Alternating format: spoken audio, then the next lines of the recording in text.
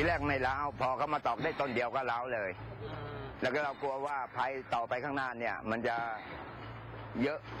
ครับแล้วก็เขาก็ไม่รับผิดชอบอะไร คือเขาแบบว่าเขาพูดคือ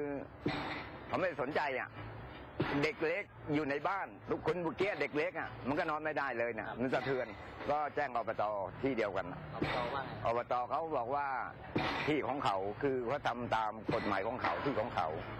เสียหายที่เมื่อกี้ที่ผมดูอะฮะทั้งบ้านเลยครับ ยันฝ้าเลยครับ ในห้องน้ำรั้วฝ้า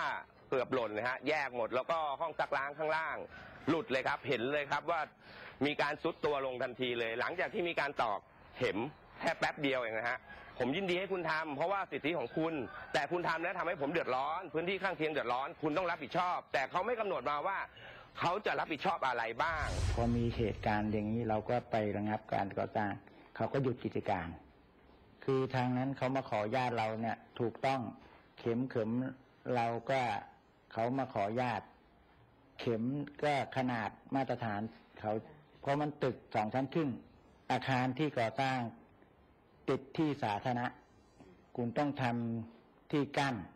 วัสดุเผื่อมันหล่นไปในที่สาธารณะ และต้องมีสถาปนิกควบคุมเกี่ยวกับการค่าเสียหายนี่ มันเป็นเลยอำนาจหน้าที่ของเรา